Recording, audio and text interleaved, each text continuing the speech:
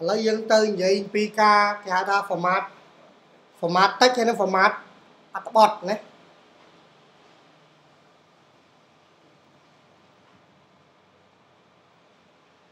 ចឹងទី1ដូរពណ៌ color ចេះដូរពណ៌ color ខ្ញុំដកខ្លះដល់ជិះអស់មកញ៉ៃញ៉ៃទុកតែ P1 ហើយ X1 បាន PTP លុបចោលប៉ុណ្ណេះបានហើយខ្ញុំ link ទៅកាន់ file style ដដែល នេះមានប៉ុណ្ណេះចោល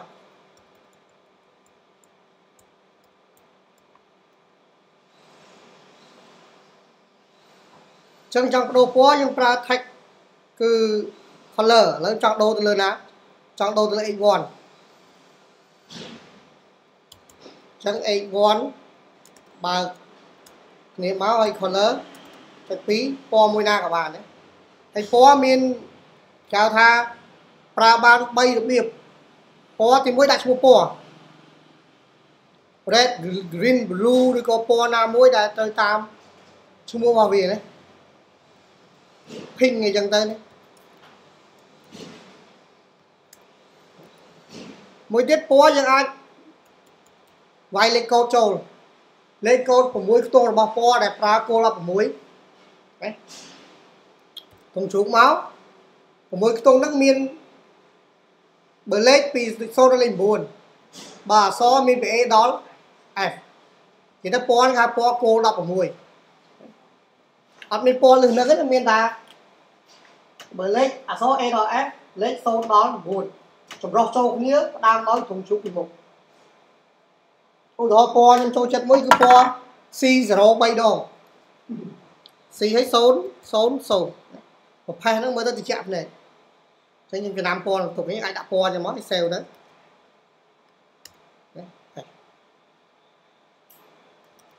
មួយទៀតយើងអាចប្រើ color RGB color ហើយ RGB បើមុខកញ្ចក់មាន3បន្លោះ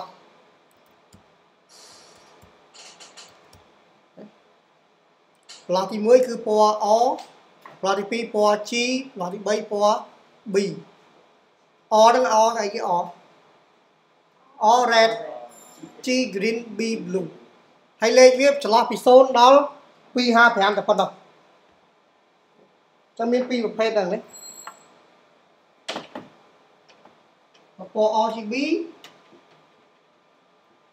0ដល់25អ0ដល់255មាន3ខ្ទង់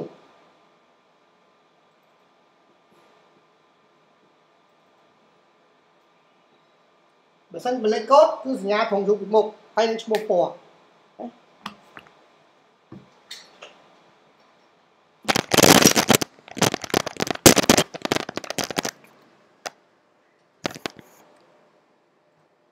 បាទអញ្ចឹង H1 យើង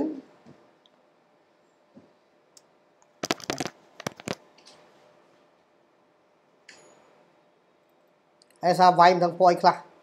ចេះវាយទៅ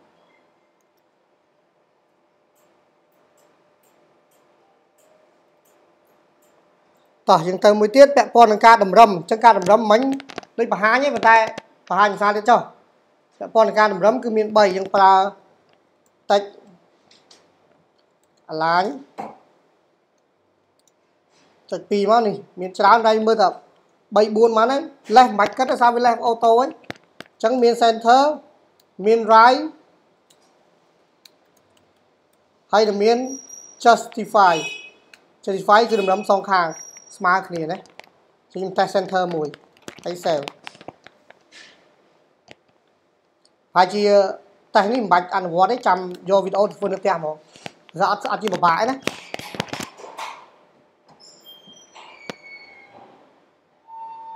បាទមួយទៀត text decoration text decoration នឹងប្រើសម្រាប់ដាក់បន្ទាត់មានបន្ទាត់ឆូតបន្ទាត់ក្រោមហើយនិងបន្ទាត់ពីលើ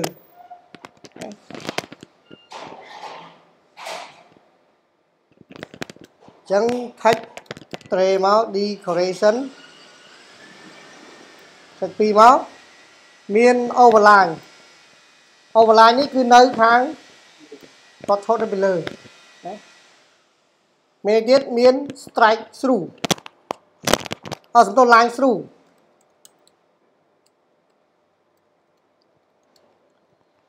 ឡាញ through នេះគឺឆូតចោលហើយមួយទៀតគឺ underline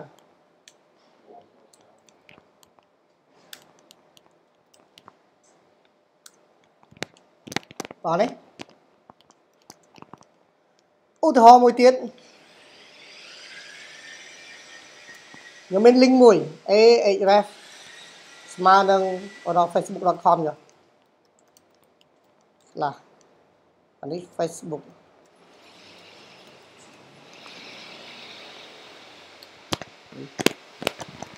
ខ្ញុំចង់ដកបន្ទាត់ចេញ link មែនតែដកបន្ទាត់ចេញយើងប្រើមិនអញ្ចឹង A text decoration អត់មកចឹងថែបគាត់ទៅចង់ហៅវាស្រួលស្រួលចុច2ស្អីគេណាន់ហ្នឹងហើយណាន់បានន័យថាអត់មានបន្ទាត់ពីក្រោមទេ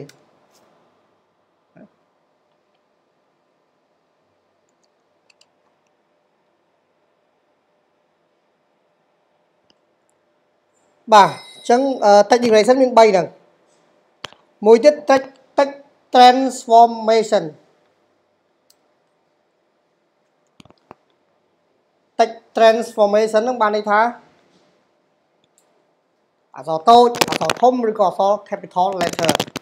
អញ្ចឹង H1 យើងបើខ្ញុំដាក់ text transformation មកឬក៏ text transform ចុច2មកមាន3 mode មាន uppercase uppercase បានថាអក្សរធំសុទ្ធទាំងអស់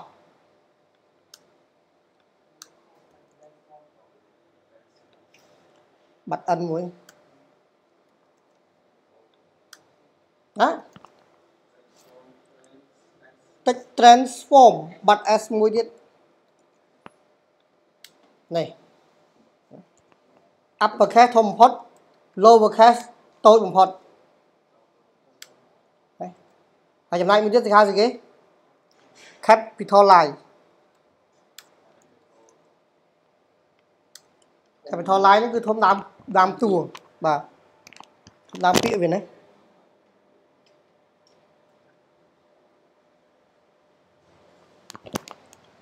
ចុះចង់បានអក្សរគេហៅថា capital letter ទាំងអស់ហើយមានអក្សរធំអក្សរតូចទៀតអាណាធ្វើប្រដភ្នំពេញ P H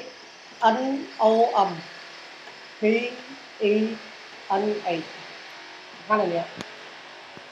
ធំដើមពាក្យ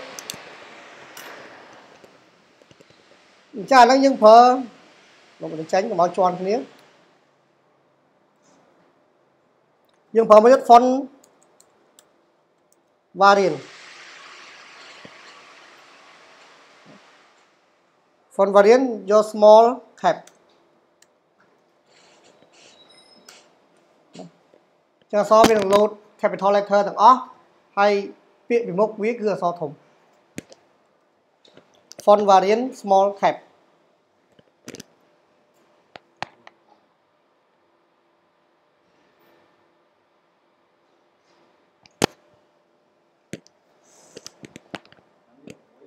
បានមានមួយហ្នឹង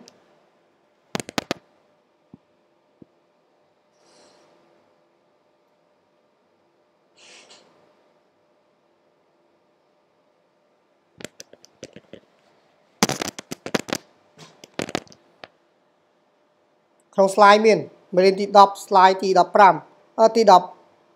15អី12មួយទៀតចូល tab ចូលបន្ទាត់ អញ្ចឹងធម្មតាអាពាក្យនេះ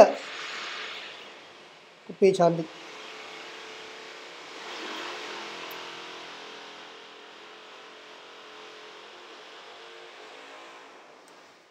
ចង់ចូលបន្ទាត់បន្តិចធ្វើម៉េចបាទរបៀបងាយស្រួលបំផុតគឺគឺអី space ដាក់10 space មក save ឲ្យខ្លះ space ហ្នឹងនឹង NBSP copy ដាក់10មក1 2 3 4 5 6 7 8 9 10មក save ទៅវាចូល10 space អានេះវិធីងាយបំផុតប៉ុន្តែអត់ទៅអត់ត្រូវ standard ទេណាចឹងគាត់ថាអាចជំនួសបានមកពេលពេលពេលណាផ្លេចចឹងបោះវាត្រឹមត្រូវគឺ touch indent ចឹងយើងដាក់នៅ P មក touch tray មក indent ចុចពីមកដាក់ចំនួនប្រវាយយើងចោលវាដកឃ្លីចូលឧទាហរណ៍ថា50 pixel នេះចឹងវាចូលហ្នឹងដាក់30អូខេណាចឹងវាចូលមួយថែបមួយថែបបាត់បាត់ច្រើនច្រើនអាចចូលចឹងមើលស្អាត line spacing កំណត់កម្រិតជួរអត្ថបទមួយមួយ អញ្ចឹងកូដរបស់វាគឺមិនមែន line spacing ទេ line high line high អញ្ចឹងវាប្រើដូច word អញ្ចឹងមាន1 1.5 2 2.5 3អញ្ចឹងទៅណាព្រម1.5 save ហើយយើងគៀកគ្នាដាក់2.5ណាយើងឆ្ងាយគ្នា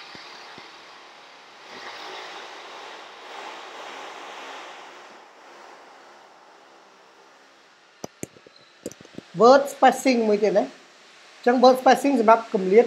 ពាក្យមួយមួយហ្នឹងឲ្យឃ្លាតឆ្ងាយពីគ្នាឬនៅឬក៏នៅគៀកគ្នាអញ្ចឹងយើងប្រើ word tray spacing ដូចគ្នាអញ្ចឹងណាអឺតមកទៀតស្អីដាក់ចំនួនចូលមកថាឲ្យវាឃ្លាតគ្នាម្ដង10 pixel ចឹងវាឃ្លាត10 pixel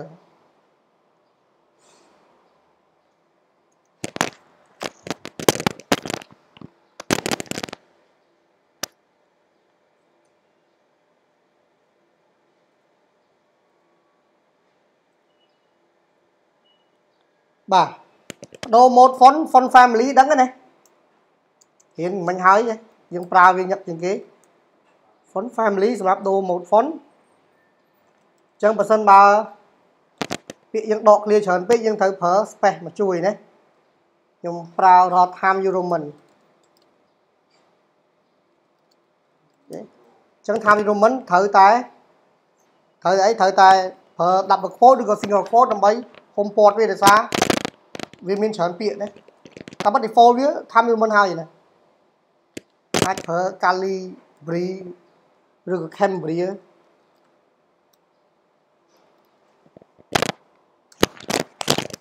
ស្អីខុសអត់ដើរ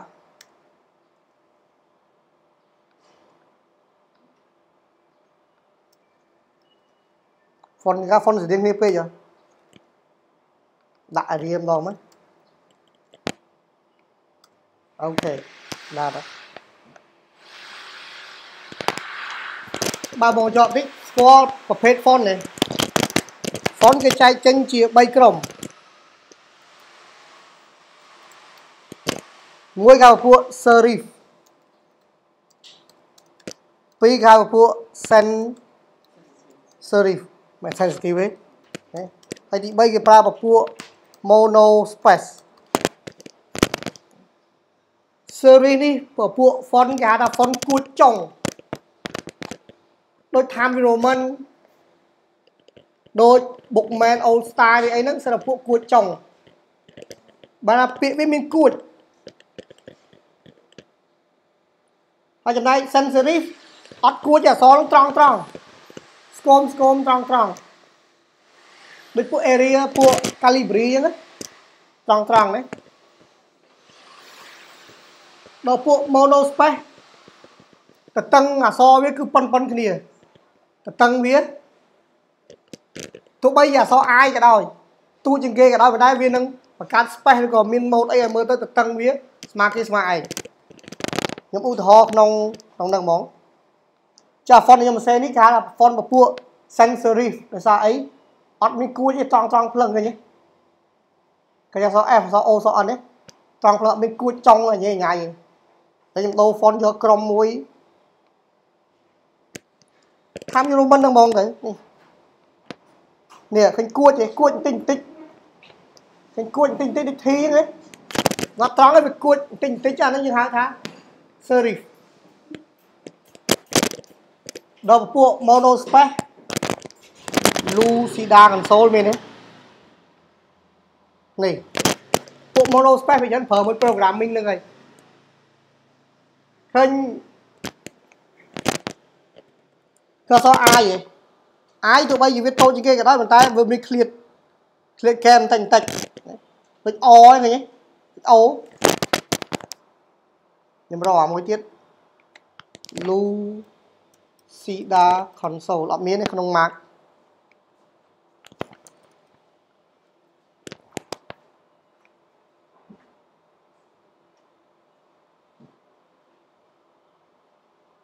នេះអាចចាត់ចូលដែរឃើញ L ទេវា L វាវា design អត់ឲ្យត្រង់ផ្លឹងទេធ្វើម៉េចមានកាច់ឆ្វេងបន្តិចកាច់ស្ដាំបន្តិចដើម្បីអីកុំឲ្យអសផ្សេងហ្នឹងមកចូលមកគៀកវាពេកគឺស្គមតែវាមែនតែវាមានកម្លាតធ្វើម៉េចគឺមកទូមកទូប៉ុនប៉ុនគ្នាពួក monospace ប្រើនៅក្នុង programming ក្នុងការសរសេរកូដស្រួលមើលអត់ជឿភ្នែកវត្តលាក់អក្សរពួក sans serif អត់មានគួចគេច្រើនប្រើនៅក្នុង computer មើលដល់សូវជឿភ្នែកពពួក serif គួចគួចពេលច្រើនគេប្រើជាមួយនឹងឯកសារ print print លើกระดาษ print ឯហ្នឹងគេប្រើគេប្រើពួក serif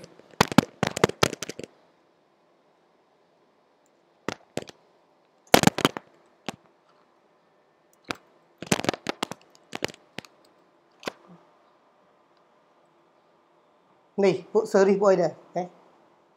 គេខ្លះមើលអត់ដាច់ទេប៉ុន្តែមើល print មកហ្នឹងងាយស្រួលមើលនេះ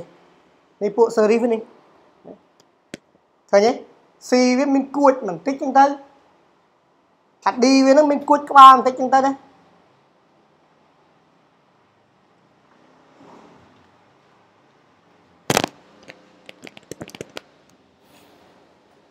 បាទ ឥឡូវចូលទៅ font size ម្ដងណា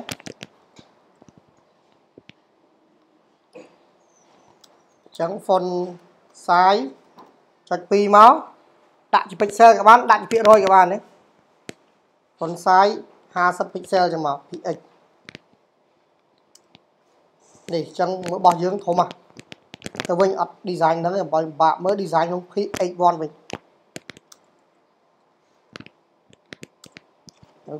អូខេនេះសធំចឹងណាចង់ឲ្យវាដិតចង់ឲ្យវា trade កាយ team L យើងប្រើអីគេហើយ team L បើកតា B មកបិទ B មកបូលបាត់ណាត្រូវទេ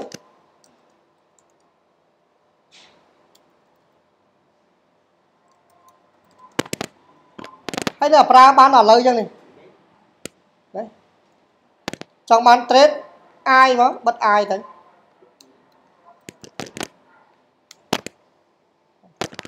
ប៉ុន្តែនៅក្នុង CS គឺគេប្រើគេហៅថាយើងប្រើ tag មួយដើម្បីជួយក្តោបអាហ្នឹងគឺប្រើ span span ឲ្យបិទ span មួយមក span ហ្នឹងមិនមែនទេដូចវងកញ្ចក់អញ្ចឹងគឺសម្រាប់ក្តោបមកប្រហែលពាក្យដែលយើងចង់បានហ្នឹងហើយយកទៅ design នៅ CS ធ្វើអីធ្វើទៅ អញ្ចឹងបើក span យ៉ាងមកហើយយើងចូលមក style style យើងចាប់ផ្ដើមសរសេរ span ចូលថែមមក span យើងឲ្យអីបើយើងដាក់ក្នុង P វា trade ទាំងអស់វាបូលទាំងអស់ចឹងវាដាក់បកមើលពេលហ្នឹង trade ដូចក៏បូលហ្នឹងគេប្រើនៅក្នុងពាក្យខ្លះខ្លះណាមួយទេអញ្ចឹងសំពួរដិតយើងប្រើ font weight font weight មានប្រមាណ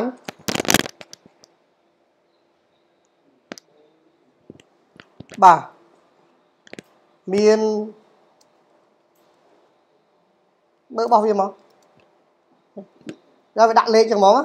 ប៉ុន្តែយើងប្រើពាក្យរបស់វាទៅប្រើ bold ទៅវា default របស់វា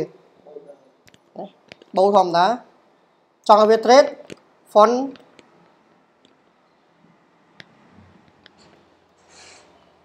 មួយ font web នេះចង់ផ្លិចចូលមក trade នេះនឹងឲ្យ font style italic ចុច2មក italic អញ្ចឹងអានេះដិតផង trade ផង